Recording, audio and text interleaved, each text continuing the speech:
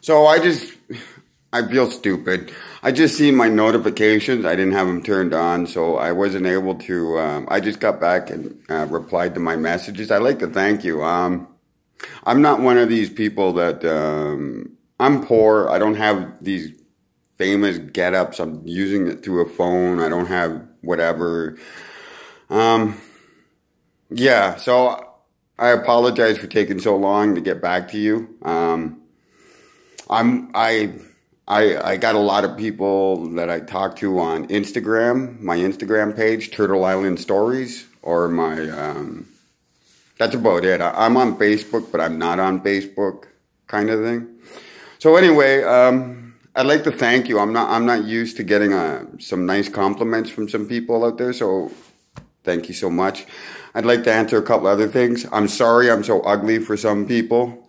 Um, I had more important things to worry about in my life other than my looks, you know. Being a scoop survivor, I had to survive that. Uh, being an Alberta child welfare abused survivor, I had to survive being systematically abused and a bunch of hor- horrendous other stuff that um, um, the Alberta government um, imposed upon me, I guess and um, and then uh, you know I had to deal with being poor, homeless, um, drugs, crime, being a criminal. I, I make no bones about it. I'm a ex criminal for twenty some years, so I have a, a lot of experience. I don't have a lot of experience in a normal life you know, because I systematically abused.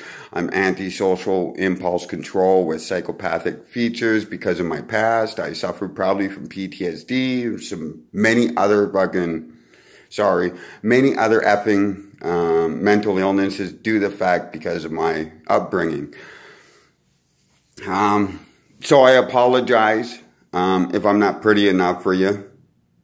Um, my bad like I said, I had more important pressing things, issues, you know, homelessness, abuse, yada, yada, yada type of thing. So, um, I'm sorry. I, I'm, I'm not, um, as good looking as some of these YouTube stars like a Tyler Oliveira or, um, um, R slash dude or, um, Gundam dude or, you know, loser of the de- of, of the week dude or uh, I'm not as pretty as the SGV news first dude or uh, I'm not as uh, good looking as the the Mexican Padilla, I do believe, Copwatch Or I, I'm not as good looking as them, and I apologize. Um, sorry, those are some of my uh, examples off the top of my head because I watch them. They're my favorite shows or channels or whatever you call them on this. And um, there was another comment as I should get a life and I should just allow the Edmonton police to do what they did to me. Um, I have an issue with that. Um, because of my upbringing, because of my past, it kind of screwed my future. So I never had a future. I never had a past. I'm a, I'm a kind of in purgatory kind of thing before I die. Um, I grew up in this life alone. I'm going to leave this life alone. I live this life alone. So I apologize if I didn't have the education because I was getting my fucking ass beat, abused, and whatnot. Um, and my own stupidity on top of that for being getting into crime, getting in being a quote unquote criminal enterprise, um, criminal mastermind, etc. I'm not here to promote my crim- criminality. I'm not, and that was one of the issues that I had with this. Um, I didn't want my criminal or my violent background glorified or brought up in that type of way. I'm not all about that. I'm I'm not gonna make anything by sitting here saying, you know, woohoo, I'm not a rapper. I'm not a wannabe rapper or a hip hop artist that's gonna sit here and pretend that I'm a criminal and it's cool. I'm I'm an ex criminal. I've been there, done that, and I will tell everybody that needs to be told that um, I understand if that's your option, but there are probably there are better ways to go about whatnot other than getting into crime. But if you're gonna do it, do it the right way. And I was always taught that if you can't do the time, don't do the crime. So anyway, another another message was that um, not only should I let the Edmonton police get away with this and pretty much roll over and take this shit dry, but if I did that, there's a whole bunch of young bloods that they will target and attack, and nothing will get done. And that's how the Edmonton police. That's how this bullying happens. People don't stand up. People are too scared to stand up to say anything. People are, you know, held back because they don't want to get involved in that. And I have more than enough experience in that because when I was abused, I would have loved for somebody to stand up and say, fuck, enough is enough. But nobody did because nobody wanted to get involved with uh, abuse because it's just such a shitty. I don't know.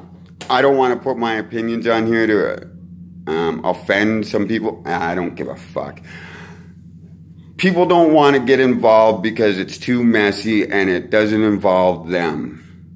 And the few people that do get through that are so overwhelmed by so many things that they don't. Unfortunately, I don't have any of those issues.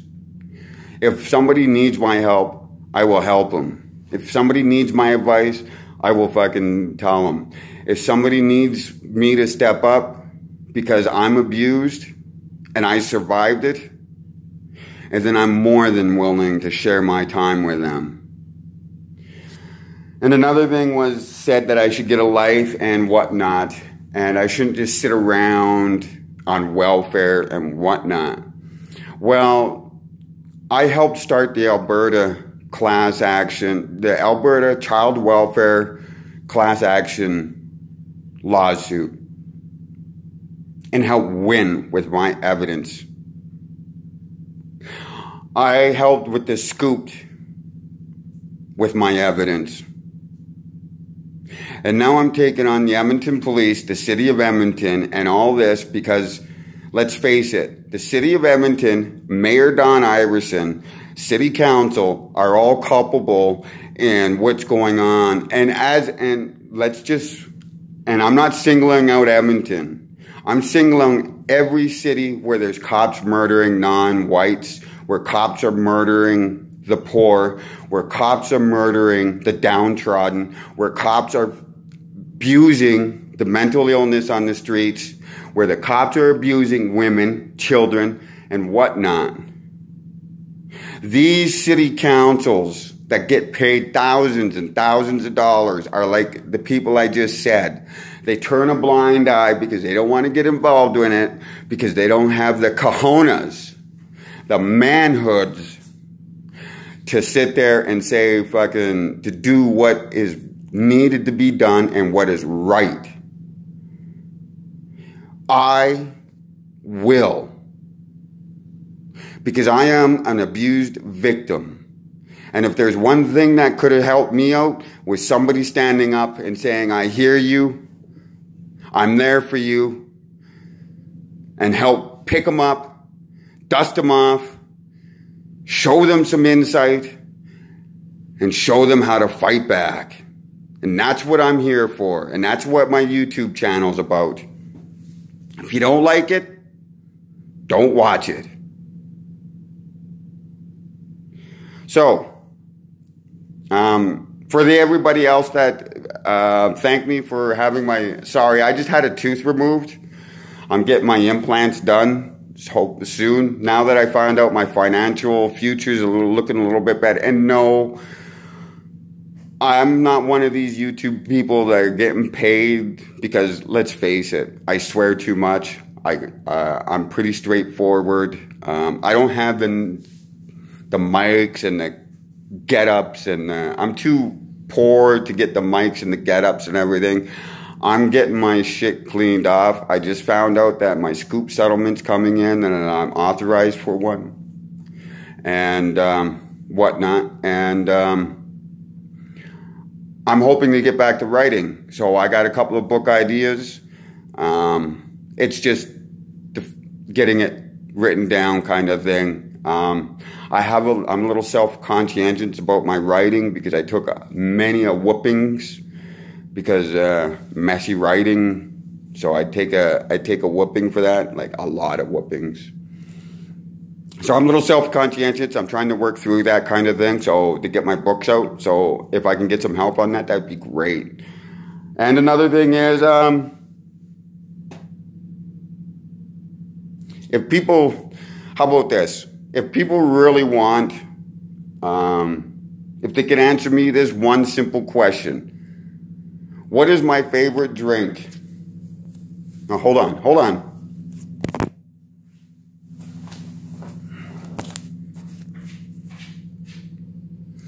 If you can tell me what my favorite drink is that has gotten me through um,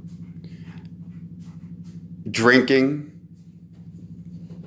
that's got me, helped me overcome drinking, alcohol, uh, help me, um, just help me in every which way possible.